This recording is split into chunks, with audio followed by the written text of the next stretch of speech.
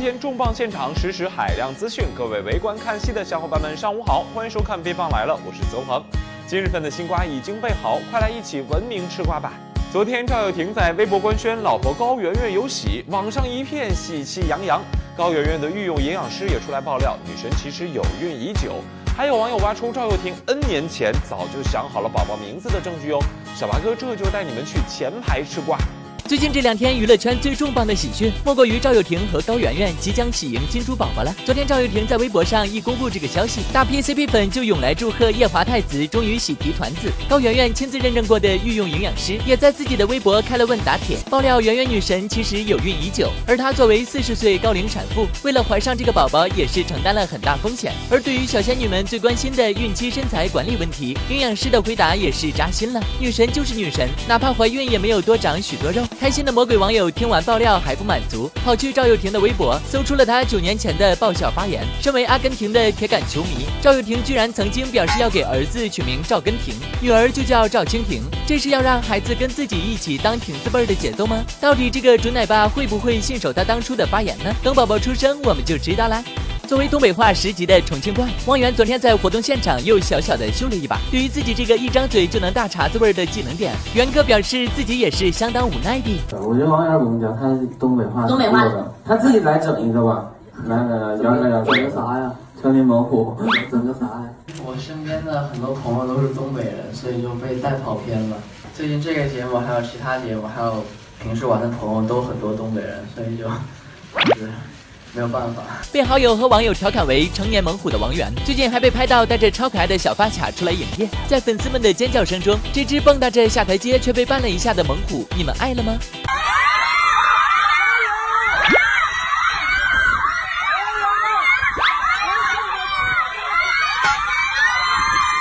希望刚哥王源可以考虑一下，发送一段带着小发卡说东北话的福利视频，两大萌点结合，粉丝们一定会幸福到晕眩啊！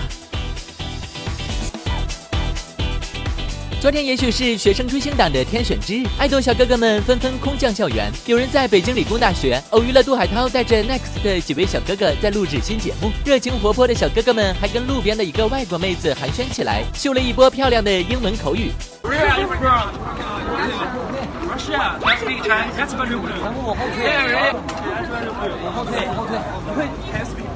然而，追星女孩们还没欣赏够小哥哥的美颜，剧情就急转直下。有北理工的同学爆料，他们在突袭学校健身房时，被铁面无私的保安大哥撵出来了。这乌龙反转太爆笑了吧！除了北理工的同学们有福利，昨天北京民族大学的同学们也幸运的在寝室楼下邂逅了范丞丞。小八哥真的酸了，你们呢？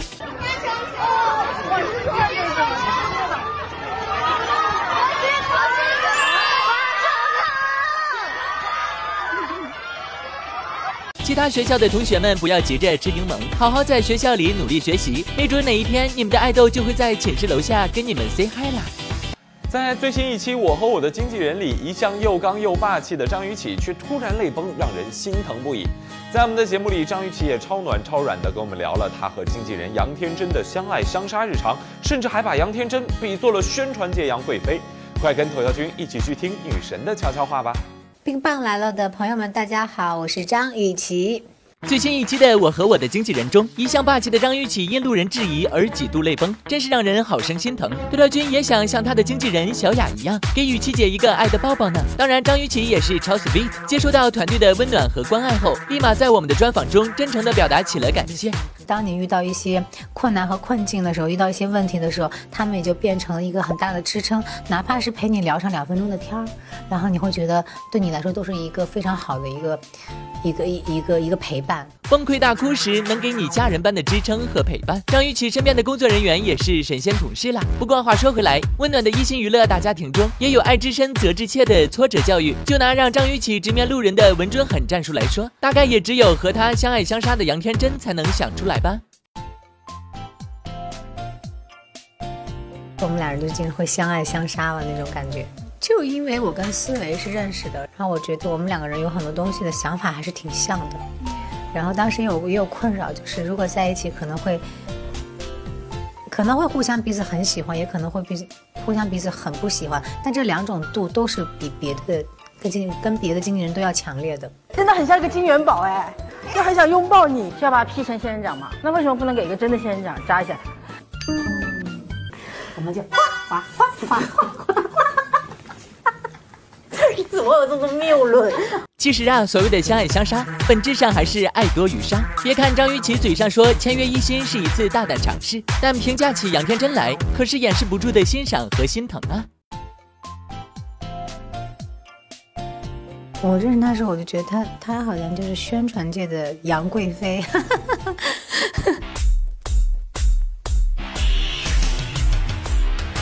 我觉得他的问题也是在经纪人中，可能是太过于真实表达自己的一个人，跟我的问题有点像，所以会同样的，嗯，就是受到喜爱和受到非议吧，都会有吧。就我们都太真实了。